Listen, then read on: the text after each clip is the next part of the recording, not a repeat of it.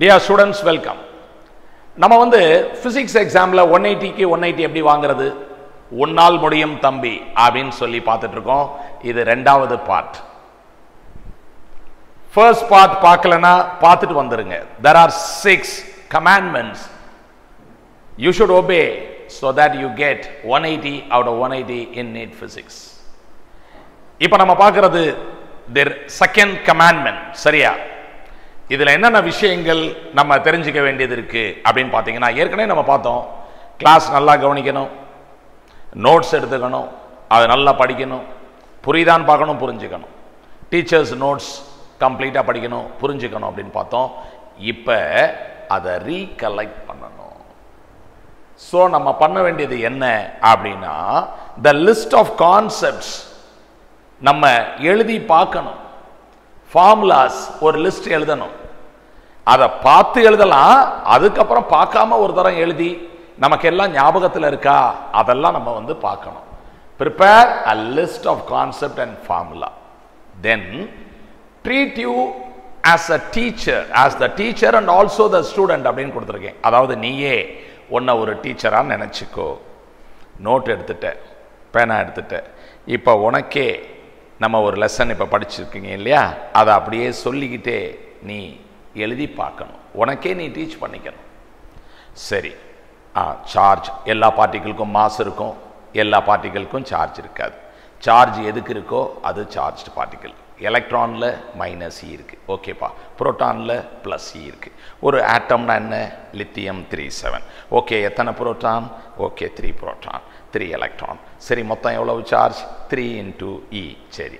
அது வந்து த்ரீ அப்புறம் எலக்ட்ரானில் மைனஸ் த்ரீ டோட்டல் எவ்வளவு? ஜீரோ அப்போ ஆட்டம் நியூட்ரல் இந்த மாதிரி நீயே உனக்கு எக்ஸ்பிளைன் பண்ணி நீயே சொல்லிக்கிட்டு ஓகே எல்லா ஆட்டமும் இப்போ நியூட்ரல் அப்போ எந்த ஆட்டம்லையுமே சார்ஜ் இருக்காது. ஓகே ஃபைன் அப்புறம் நமக்கு எப்படி சார்ஜ் கிடைக்கிது? அப்படிங்கிறதெல்லாம் நீயே வந்து உனக்கு ஒரு தரம் சொல்லிக்கிட்டு நீ அப்படியே எழுதி பார்க்கணும்.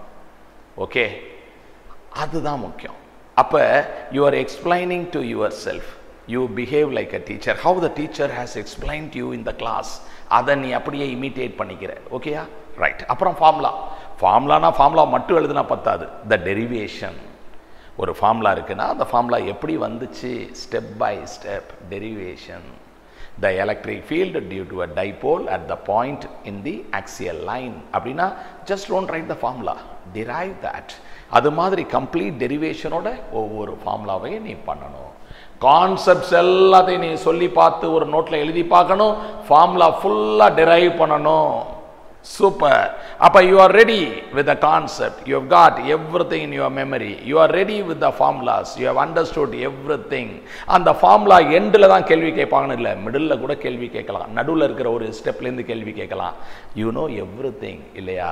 That's very important then another thing யாராவது ஒரு ஃப்ரெண்டு ஒன்ட்ட வந்து ஒரு டவுட் கேட்குறாங்க ஏ எப்போ பார்த்தாலும் இவனோட தொல்லையாக போச்சுடா அப்படின்னு சொல்லாமல் அந்த ஃப்ரெண்டை கூப்பிட்டு என்னப்பா நான் கண்டக்டிங் ஸ்பியரில் எலக்ட்ரிக் ஃபீல்டு எப்படி கண்டுபிடிப்ப? எனக்கு புரியலையே. ஓகே வா உட்காரு. கம்ப்ளீட்டாக சொல்லி கொடுக்குறேன். அப்போ ஒரு டீச்சரோட ரோல் நீ எடுத்துக்கிற. ஃப்ரெண்டை கூப்பிட்டு உட்கார வச்சு அருமையாக சொல்லி கொடுக்குற. ஓ ஃப்ரெண்டு படிச்சிருவான். அதெல்லாம் இல்லை நீ சொல்லி கொடுக்குற. சொல்லி கொடுக்கும்போது என்ன ஆகும் உன் மைண்டில் இன்னும் ரெஜிஸ்டர் ஆகும். உன் ஃப்ரெண்டு உன்ட்ட பேனாவை கேட்குறான் கொடுக்குற பேனா போச்சு. நோட்டு கேட்குறான் கொடுக்குற நோட்டு போச்சு. ஆனால் அறிவை கேட்குறான் நாலேஜை கேட்குறான் நீ கொடுக்குற அது டபுள் ஆயிரும். அது போயிடாது அது டபுள் ஆயிரும். அப்போ அவன் என்ன கான்செப்டை கேட்குறானோ நீ எக்ஸ்பிளைன் பண்ணுற இல்லையா? அப்போ உனக்கு இன்னும் தெளிவா. அவனுக்கு புரிகிற மாதிரி உனக்கு சொல்ல தெரியுதா? அவனுக்கு புரிய வைக்க உனக்கு தெரியுதா? அப்போ உனக்கு புரிஞ்சிருச்சு. புரியாத ஒரு விஷயத்தை உன்னால் எப்படி கிளியராக கம்யூனிகேட் பண்ண முடியும்? ஒன்று உனக்கு அந்த பர்டிகுலர் கான்செப்ட் ஞாபகத்தில் இருக்கா? உன்னோட மெமரியை ஒரு தரம் நீ செக் பண்ணிட்ட. அந்த கான்செப்டை தெளிவாக சொல்லி கொடுக்க தெரியுதா? அந்த கிளாரிட்டியை நீ செக் பண்ணிட்ட. அப்போ you are thorough okay this is the commandment number two okay I meet you in the next video thank you